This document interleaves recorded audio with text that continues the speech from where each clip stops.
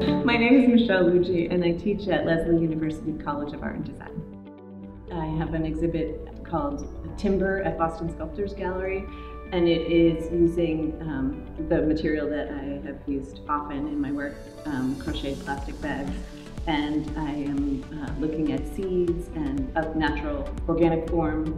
Um, I have a giant caterpillar and a ghost-like tree in the um, exhibit.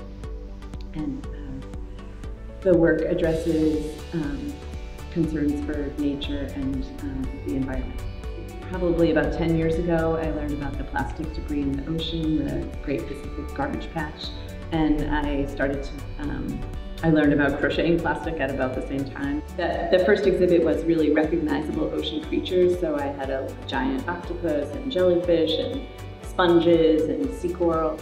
Often people don't know what the heck it's made out of unless they read the literature or I happen to be here to tell them. And then there's this like, wow moment for them, you know, like, oh, this is a lot of plastic and what a, you know, cool thing to do with it. And then they start bringing me their bags.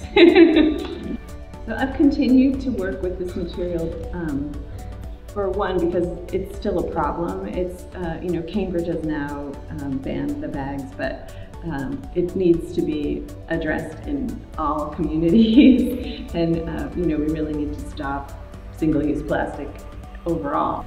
I hope to raise consciousness um, about, you know, so that we think about each time we use plastic and then it doesn't become such an ingrained part of our world.